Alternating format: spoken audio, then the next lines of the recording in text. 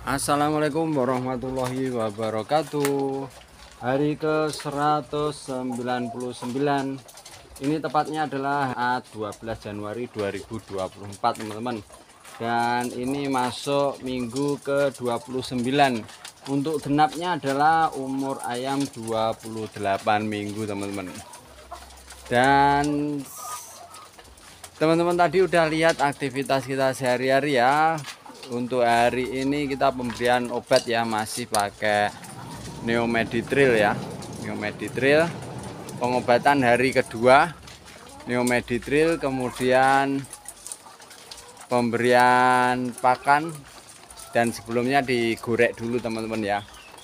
Baik teman-teman setelah kita amati kondisi ayam kita hari ini teman-teman ya ada dua kemungkinan ya teman-teman. Antara sakit yang perlu kita obati pakai neomeditril udah cukup ya. Penyakit biasa. Ngorok atau pilek atau mungkin bahasanya apa ya CRD dan lain sebagainya. Ini yang perlu kita koreksi adalah kalau kita lihat ya kita amati ada beberapa ayam yang kerabangnya warnanya putih ya. Tipis dan pecah ini teman-teman. Retak ya. Jadi unsur kekuatannya enggak ada ini. Tipis banget. Ini bisa diakibatkan karena memang karena kondisi sakit atau bisa jadi karena yang lainnya seperti IB ya. Perlu vaksin IB teman-teman. Terkena IB nah, ini banyak yang keropos ini kropos. Artinya kropos itu berarti cangkangnya tipis mudah pecah. Dan yang di ujung sini ujung sini bertelur teman-teman ya. Meskipun dengan kondisi agak kurang sehat kelihatannya. Ini kropos juga. Ini kita buang ya batunya teman-teman. Kasih minum dia antusias nggak antusias sebenarnya ya oke. Kita lihat lagi kondisinya. Gerabangnya kurang tebal kayak tipis gitu teman-teman ya. Karena mudah pecah.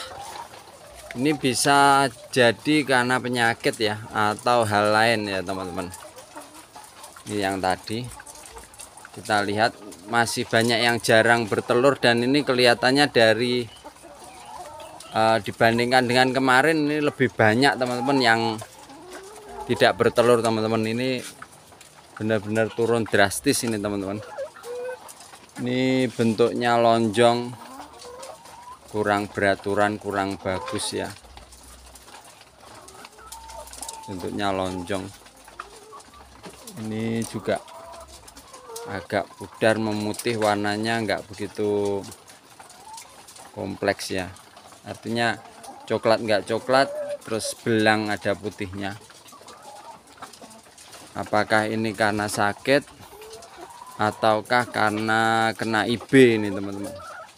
Kalau dari ciri-cirinya IB juga gitu teman-teman ya. Oke ini banyak yang jarang bertelur. Dan ini bertelur dua tapi juga kondisinya kerabangnya putih kasar ya kasar. Putih kasar. Yang ini putih kasar. Lembek. Oke. Cukup lumayan ini. Penyakitnya agak kompleks. Oke kalau kita amati dari kondisi telurnya ya teman-teman ini bisa jadi ini sakitnya adalah IB teman-teman. Kalau IB itu ciri-cirinya keluar lendir dari hidung ya. Keluar lendir dari hidung nanti kita amati. Keluar lendir dari hidung kemudian ngorok suaranya agak krek-krek memang gitu ya teman-teman. Kemudian produksi turun 0 sampai 40% dan ini turun drastis teman-teman ya turun drastis kemarin sempat sempat 80% dan ini kurang lebih enggak ada 60 kayaknya. Enggak ada 60% ini. Jadi bisa jadi turunnya 20 persenan ini teman-teman. Nanti kita panen aja untuk telurnya. Tadi sekilas saya hitung sekitar 60 uh, 50 berapa gitu ya nggak nyampe 60 terus kualitas telur menjadi rendah. Kualitas telur ya termasuk telur pecah tadi ya. Telur pecah kemudian telur tipis kan gitu. Kualitas telur menjadi rendah. Pengertiannya adalah bentuk telur tidak normal atau asimetris. Tadi ada yang lonjong itu teman-teman ya. Bentuk telurnya kan nggak normal itu tadi. Terus juga kerabang kasar nah itu tadi ada kerabangnya kasar oke masuk atau lunak Ah, ada yang lunak juga tadi ya teman-teman ya, yang di ujung sana tadi lunak ya. Kasar. Dia punya dua ciri-ciri yang masuk semua loh teman-teman. Uh, kerabangnya kasar dan juga lunak. Ada yang lunak. Dua telur yang dia miliki sama itu, lunak. Kerabangnya juga kasar. Oke, kita ulangi lagi kita lihat teman-teman ya. Kita belajar jadi dokter ini. Belajar jadi dokter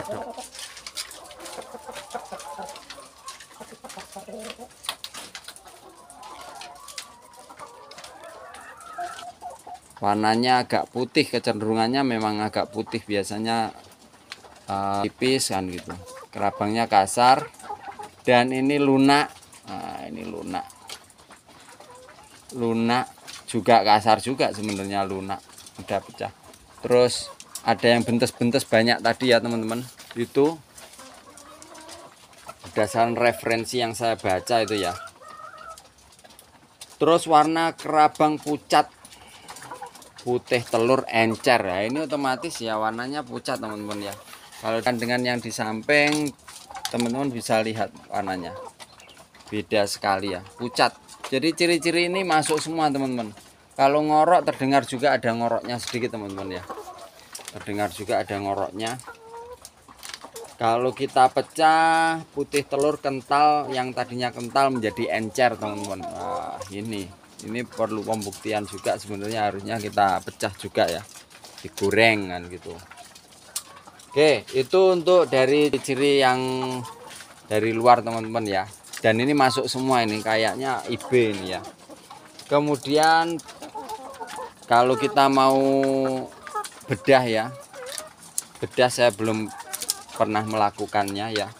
Ciri-cirinya peradangan pada trakea dan bronkus. Ginjal bengkak ovarium lembek dan lunak. Kadang ditemukan kuning telur yang siap diovulasikan pecah dan mengalir ke rongga perut terkadang terjadi kistik oviduk. Oviduk berisi cairan bening. Itu menurut teorinya teman-teman. Oke kalau itu saya kurang begitu paham tapi kalau ciri-ciri dari luar tadi udah masuk semua ya.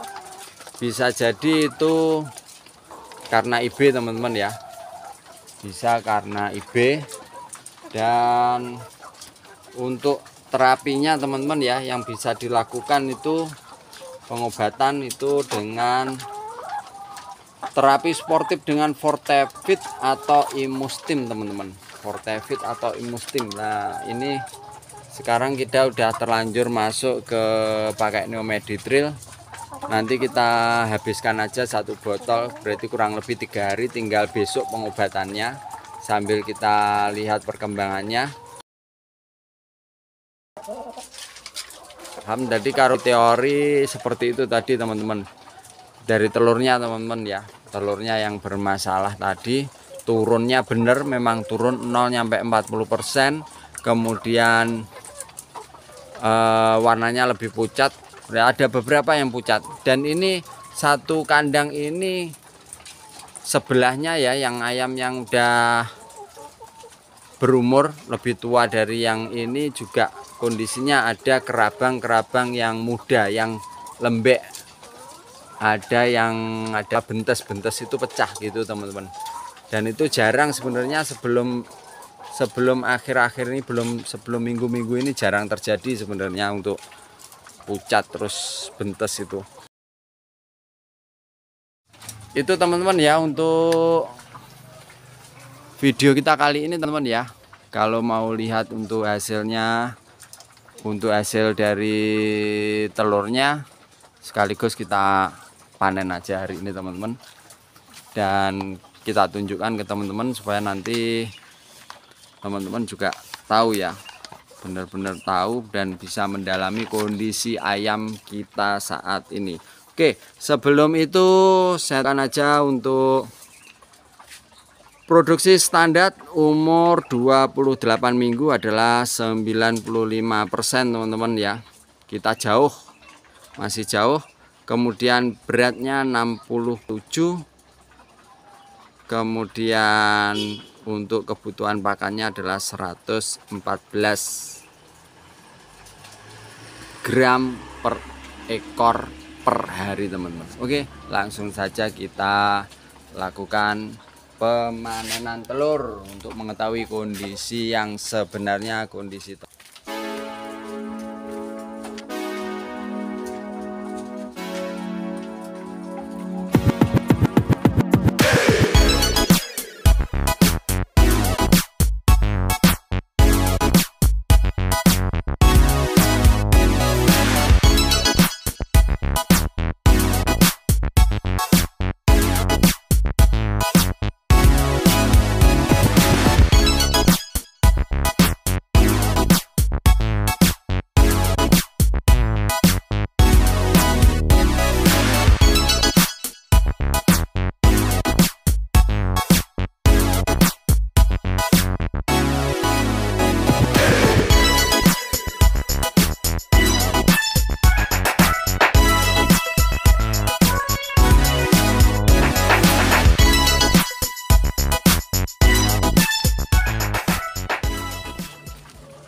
Teman-teman ini tadi udah kita panen teman-teman ya. Hasilnya seperti ini teman-teman.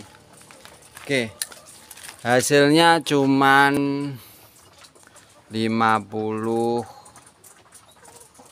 50 56 aja teman-teman. Penurunannya cukup drastis tidak nyampe 60% biasanya paling tidak 75 nyampe 80%